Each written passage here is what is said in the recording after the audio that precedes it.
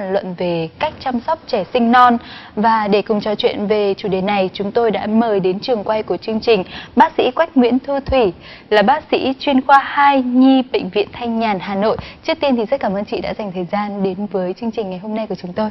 Xin chào Huyền Châu và xin chào quý vị khán giả. Chị Thu Thủy thân mến, à, từ đầu chương trình thì chúng ta đã giới thiệu là nội dung của cuộc trò chuyện sẽ là bàn về cách chăm sóc trẻ sinh non. Vậy thì trước tiên chị có thể chia sẻ cho khán giả được biết khái niệm trẻ sinh non là như thế nào được không ạ? Theo tiêu chuẩn của Tổ chức Y tế Thế giới, trẻ sinh non tức là trẻ dưới 37 tuần và cân nặng là dưới 2 cân rưỡi thì được nói coi là trẻ sinh non trẻ bị sinh non thì thường là nguyên nhân thứ nhất là về phía bà mẹ, tức là chế độ nuôi dưỡng của mẹ trong quá trình mang thai và chế độ làm việc và lao động của mẹ trong quá trình mang thai không được đảm bảo dụ ăn uống không đầy đủ ờ, làm việc quá sức, nhất là cái giai đoạn mà sắp đẻ. Ờ, và ngoài ra còn có nguyên nhân của ngoại cảnh, dụ như là có thể bị ngã hay là bị tai nạn va đập rất là nhiều người họ cho rằng trẻ sinh non có cái sức đề kháng kém hơn rất nhiều so với trẻ sinh thường. Vậy thì cái sức đề kháng đó nó kém như thế nào? Bình thường trẻ đủ tháng là khoảng 9 tháng 10 ngày. Thế trẻ sinh non ấy, thì là dưới 37 tuần. Các cái cơ quan của nó chưa phát triển đầy đủ. Dụ như là có những bệnh như là bệnh màng trong chẳng hạn tức là trẻ thiếu hụt cái chất làm giãn nở phế quản thì cái đó cũng là một những nguyên nhân mà làm cho trẻ suy hấp và có thể dẫn đến tử vong các bộ phận khác như là bộ phận tiêu hóa này uh, cũng chưa hoàn chỉnh. Nên cái hấp thu và cái nuôi dưỡng của trẻ khó hơn so với những trẻ đẻ bình thường. Do cái đặc điểm của trẻ sinh non nó nó có cái lớp mỡ dưới da nó rất là mỏng nó kém nên cái khả năng bảo vệ của cơ thể chống đỡ ờ, với cái môi trường bên ngoài cũng kém. Và cái nhiệt độ của trẻ nó rất dễ bị thay đổi không điều hòa được nhiệt độ của cơ thể nên nó bị phụ thuộc vào cái nhiệt độ môi trường. Nên trẻ dễ nóng dễ lạnh nhất là mùa đông thì lại trẻ dễ bị lạnh mà mùa hè thì nó lại bị nóng nhiệt độ nó tăng hơn so với những cái trẻ đẻ bình thường. Thế ngoài ra ấy, thì là cái hệ miễn dịch của trẻ là kém hơn nên trẻ rất dễ những mắc những bệnh nhiễm trùng. Chúng ta có thể thấy những cái yếu tố dẫn đến cái sức đề kháng của trẻ sinh non là rất kém. Chính vì vậy mà các bà mẹ phải hoàn toàn là rất chú trọng và đặc biệt chăm sóc việc nuôi dưỡng trẻ sinh non một cách đặc biệt hơn so với trẻ sinh thường. Vậy thì thưa chị trong cái việc mà chăm sóc trẻ sinh non thì điều gì là quan trọng nhất ạ? Trẻ sinh non có một số đặc điểm như tôi đã nói ở trên do đó là cần phải chăm sóc đặc biệt hơn. Nhất là về vấn đề hô hấp thì trẻ dễ bị suy hô hấp phổi của trẻ còn non nó chưa đầy đủ cái chất mà làm giãn nở hay người ta gọi là chất xuất phát tăng. Cái thứ hai là vấn đề vàng da. Thì vàng da trong tuần đầu ấy, thì trẻ có vàng da nhưng mà vàng da sinh lý. Cái vàng da sinh lý và vàng da bệnh lý là cái này là phải để ra ngoài ánh sáng mặt trời thì để theo dõi được chứ ánh sáng đèn là dễ bị nhầm. Trẻ vàng da sinh lý thì nó khác, còn vàng da bệnh lý thì khi để ra ánh sáng mặt trời thì thấy vàng rất nhiều và cùng mặt mắt nó cũng vàng. Cái vàng da là các bà mẹ rất là quan tâm, tại vì nếu mà mình bỏ sót thì dễ gây nguy hiểm, tức là nó gây hiện tượng vàng da nhân. Vàng da nhân tức là vàng da cái não nó bị ảnh hưởng và dễ gây các bệnh não rất là nghiêm trọng. Và tiếp theo nữa là về vấn đề dinh dưỡng bộ máy tiêu hóa của trẻ chưa phát triển nên vấn đề hấp thu kém nên nó không đủ để nuôi dưỡng cho trẻ. Về miễn dịch của trẻ nó chưa được ờ, hoàn chỉnh, do đó trẻ rất dễ bị nhiễm khuẩn, rất dễ bị ờ, mắc những cái bệnh nhiễm trùng nhiễm trùng về hô hấp, rồi là nhiễm trùng về đường ruột. Chúng ta có thể thấy những cái chia sẻ của bác sĩ có rất nhiều yếu tố quan trọng trong việc mà chăm sóc trẻ sinh non. À, trong đó thì có một cái ý đó là về vấn đề dinh dưỡng cho trẻ sinh non. Có thể nói là cái điều này được rất nhiều các bà mẹ chú trọng. Không chỉ là trẻ sinh non đâu mà còn cả trẻ sinh thường thì các bà mẹ cũng như là các gia đình thì cũng rất là quan tâm. Vậy thì chị có thể chia sẻ là việc chăm sóc trẻ sinh non cái chế độ ăn có gì đặc biệt hơn so với trẻ sinh thường không ạ? Ờ, cái nhu cầu của trẻ là cần gấp rưỡi đến gấp đôi so với trẻ bình thường mà trong khi đó là uh, các cơ quan các bộ máy tiêu hóa của trẻ là nó chưa hoàn chỉnh. Đấy, các men tiêu hóa cũng chưa đầy đủ chế độ ăn của nó lại đặc biệt hơn phải chú trọng hơn. Đó là thức ăn tốt nhất của trẻ đẻ non tức là sữa mẹ. Sữa mẹ là cái nguồn năng lượng mà không thể thay thế được. Ờ, vì trong sữa mẹ nó có đầy đủ chất dinh dưỡng vitamin khoáng chất và kể cả kháng thể. Chương trình của chúng ta khi mà bàn luận về cái chủ đề này thì chúng tôi cũng uh, lắng nghe được rất nhiều kinh nghiệm của các bà mẹ có trẻ sinh non. Và họ có chia sẻ rằng là với trẻ sinh non ấy, thì họ vắt sữa mẹ vào hai ly sau đó thì cho bé ăn ly thứ hai trước rồi mới ăn ly thứ nhất theo nhu cầu của bé. Bác sĩ nhận xét như thế nào về cái quan niệm này? Quan niệm này thì ra là không không hề sai. Vì này này sữa thì nó có gọi là đầu cữ và cuối cữ, cái lượng sữa đầu cữ thì nó loãng, nó nhiều khoáng chất. Nó chỉ tác dụng giải khát, còn sữa cuối cữ là nó có đặc hơn và nó có chất dinh dưỡng hơn, giúp cho bé ờ, nuôi dưỡng cho trẻ hơn. Thì cái này thật ra là chỉ áp dụng khi mà bà mẹ quá nhiều sữa và con ăn được ít. Thế trẻ sinh non thì dạ dày nhỏ, thì nó không thể ăn hết được như thế ăn ăn hết được cả cái cái cái cữ của bầu sữa mẹ thì có thể chia ra như thế. Thì là cái ăn người ta cho ăn cái cốc thứ hai trước, tức là để năng lượng để nuôi dưỡng. Sau đó còn thừa cái dung tích của dạ dày, họ mới ăn cái cái cốc cốc thứ nhất. Tức là được bao nhiêu thì là là là được. Còn cái cốc thứ hai phải họ cho ăn hết. Thì theo tôi cái này họ quan niệm như thế là không hề sai nhưng mà thường như này thì cái cái cái sữa mẹ lúc đầu ấy thường là rất là quý. Thế thì nếu mà vắt ra hai cốc như thế thì đối với trẻ nó không bú được. Còn nếu trẻ bú được thì nó bú hết luôn. Thì cái đó không cần cần cần phải tách ra. Đấy. Thế còn nếu mà trẻ sinh non mà nó không bú được, phải vắt sữa ra thì cố gắng tận dụng. Ví dụ cho ăn ly thứ hai. Còn ly thứ nhất còn thì mình cũng không đổ đi có thể mẹ lại uống tiếp cũng được tôi nghĩ là cái đó là rất tốt chứ không phải là mình còn thừa mình đổ đi vâng như vậy là theo phương pháp mà chúng ta vừa được chia sẻ từ phía những bà mẹ có con sinh non thì hoàn toàn là chính xác đúng không ạ? Và mọi người thì đều hoàn toàn có thể áp dụng được cái phương pháp nuôi dưỡng này. À, đó cũng là một cái chia sẻ rất hay mà chương trình đã thu thập cùng với à, bác sĩ chia sẻ với những khán giả trong chương trình ngày hôm nay. Chúng tôi thấy là nhiều gia đình có con sinh non có một cái tâm lý chung đó là họ cảm thấy rất sốt ruột với cái việc mà con tăng cân và phát triển. Chính bởi vì vậy mà họ có một cái ý thức là bổ sung thêm sữa ngoài để cho con có thể theo kịp cân của các bạn bè cùng lứa.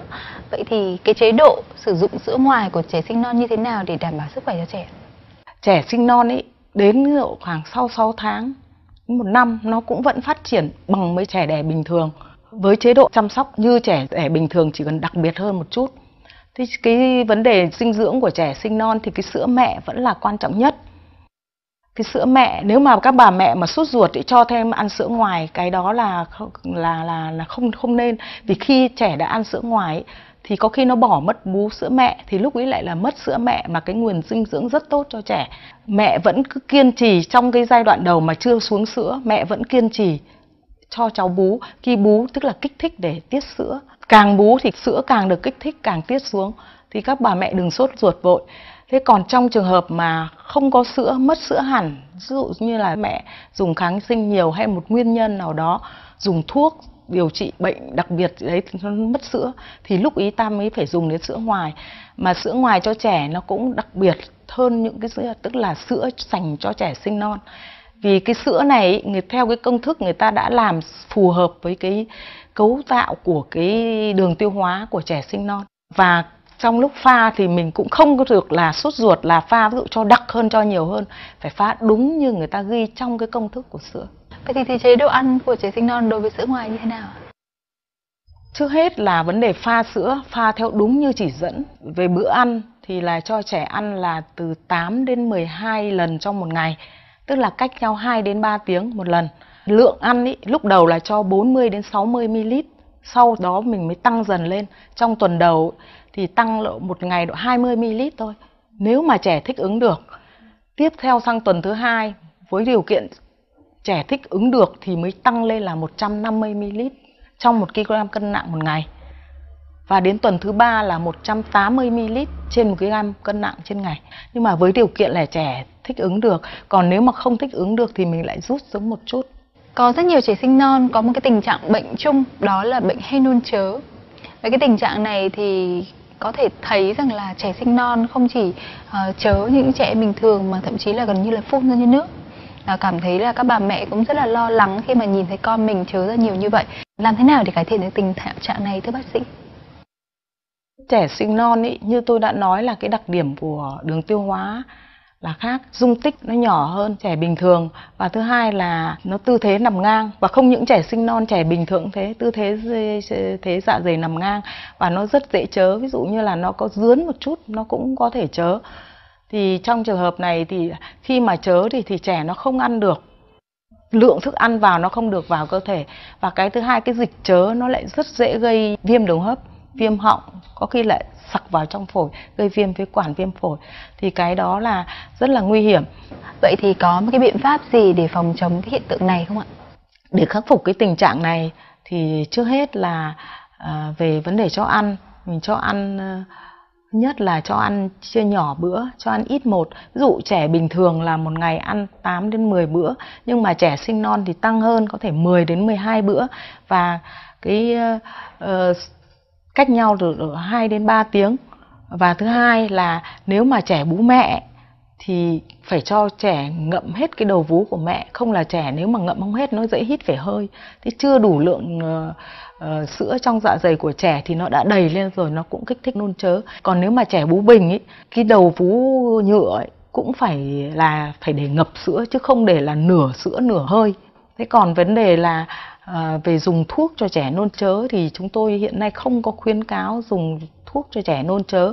Còn nếu mà trong trường hợp vẫn không khắc phục được trẻ nôn chớ nhiều thì lúc ý là phải can thiệp của y tế là cho đặt sông dạ dày trong độ khoảng mấy ngày. Cho đến khi hết nôn chớ thì mình ra. Như vậy là chúng ta đã vừa được ờ, lắng nghe về những chia sẻ trong kinh nghiệm Ờ, chế độ dinh dưỡng dành cho trẻ sinh non. Bên cạnh cái vấn đề về dinh dưỡng thì chúng ta cũng có bàn đến vấn đề về cái nhiễm khuẩn của trẻ sinh non.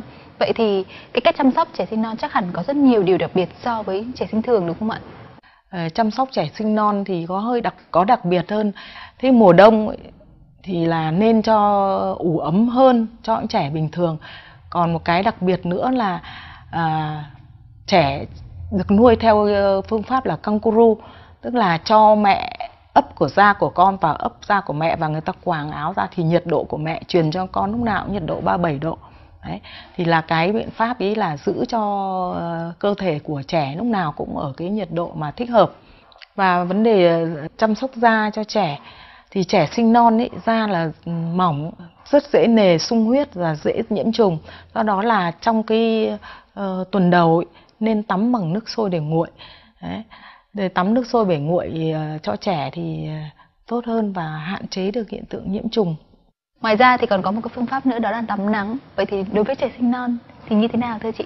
Cái tắm nắng của trẻ sinh non thì nên tận dụng cái vitamin D từ ánh nắng mặt trời thì cho trẻ tắm nắng. Sau khi một tuần trẻ sinh là bắt đầu tắm nắng.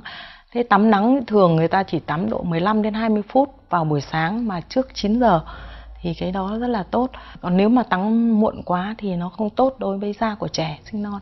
Tất nhiên là phải là cái cái nhiệt độ ngoài không được lạnh quá và không có gió bụi quá. Vâng, à, vậy thì trong thời tiết mùa đông như thế này với um, thời tiết khá lạnh và mặt trời thì cũng không được nhiều nắng lắm vào buổi sáng thì trẻ em sẽ được tắm nắng như thế nào? Mùa đông thì chúng ta có thể là tắm uh, cho bé ở cái phòng mà có kính trắng và đủ ấm làm sao ánh nắng mặt trời xuyên qua kính trắng và bé vẫn được uh, uh, được tắm nắng nhưng mà nhiệt độ trong phòng vẫn đảm bảo. Trẻ mặc ít áo uh, hở cánh tay hở cánh chân hở cánh tay hở chân hở mặt và chỉ đảm bảo giữ là ngực và bụng những bậc cha mẹ mà có con sinh non thì luôn luôn chuẩn bị cho mình một cái tâm lý lo lắng gấp đôi so với trẻ sinh thường có lẽ là sau những chia sẻ của bác sĩ về cái kinh nghiệm chăm sóc trẻ sinh non vừa rồi thì một phần nào đó họ cũng bớt đi thì cái lo lắng khi mà đã có cho mình rất là nhiều những kinh nghiệm như vậy à, vậy thì bác sĩ có thể chia sẻ thêm là những bệnh lý nào ở trẻ sinh non mà các bậc cha mẹ có thể uh, dễ nắm bắt nhất để họ có thể đề phòng cho con mình được không ạ? Ờ, đối với trẻ sinh non thì những bệnh hay gặp phải thứ nhất là bệnh về đường hấp, thứ hai là bệnh về tiêu hóa và thứ ba là là về vấn đề dinh dưỡng, trẻ à, dễ bị suy dinh dưỡng. Với ba bệnh lý mà bác sĩ vừa chia sẻ thì những bậc cha mẹ có trẻ sinh non thì cần phải đặc biệt chú ý đến ba đặc điểm này đúng không ạ? Vậy thì có những cái dấu hiệu nào bất thường ở trẻ sinh non mà các bậc cha mẹ cần phải lưu ý và ngay lập tức là đưa con đi khám ạ? Nhất là trẻ sinh non nếu mà dưới à, 35 tuần. Cân nặng là từ 1.500 gram đến 2.000 gram thì phải là đưa đến bệnh viện để theo dõi ở trong bệnh viện. Và cái tiếp theo là nếu mà trẻ mà khóc yếu thở rên đấy là một dấu hiệu để báo rằng là cái bệnh hô hấp của cháu có vấn đề. Cái thứ ba là thân nhiệt giảm trẻ bình thường thì có th- nếu mà nó nhiễm khuẩn thì lại thân nhiệt nó tăng nhưng mà trẻ sơ sinh non yếu thì nó lại nhiễm nó không tăng nhiệt độ mà lại nhiệt độ nó hạ. Đấy. cái tiếp theo là khi mà có vàng da bất thường cho trẻ đi khám bệnh ngay có nôn chớ dịch bẩn. Đấy đấy là biểu hiện của trẻ bị uh, viêm ruột hoại tử. Mà cái viêm ruột hoại tử là bệnh cũng rất hay gặp ở trẻ đẻ non. Vâng, à, xin cảm ơn với những uh, chia sẻ của chị. Với những cái dấu hiệu mà chị vừa uh, nói với khán giả thì chúng ta có thể uh, lập tức phải đưa trẻ đến bệnh viện gần nhất để chữa trị cho trẻ bởi vì trẻ sinh non là một cơ thể rất là nhạy cảm chính bởi vì thế mà cần cái sự quan sát thật là tỉ mỉ và cái sự chăm sóc rất chu đáo để có thể đảm bảo được tốt nhất sức khỏe của con mình cũng như là à, giúp cho các bậc cha mẹ có thêm thật nhiều cho mình những kinh nghiệm trong việc chăm sóc trẻ sinh non. Một lần nữa thì cảm ơn à, bác sĩ đã đến với chương trình ngày hôm nay với những chia sẻ rất bổ ích trong chủ đề này. Xin cảm ơn chị. Cảm ơn Huyền Châu.